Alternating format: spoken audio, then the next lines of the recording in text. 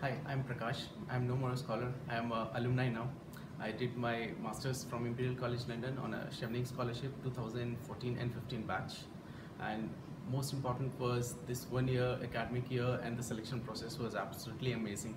And uh, getting selected wasn't less than a dream come true. Uh, taking a career break of 10 years for studies wasn't easy decision, but ultimately I feel that it was worth taking a break of one year and uh, uh, associating with 45,000 odd scholars across the world is a very, very great experience.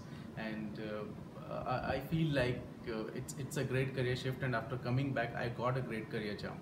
And I wish all the best to the new scholars and wish them a very, very, uh, I mean, fulfilling year ahead.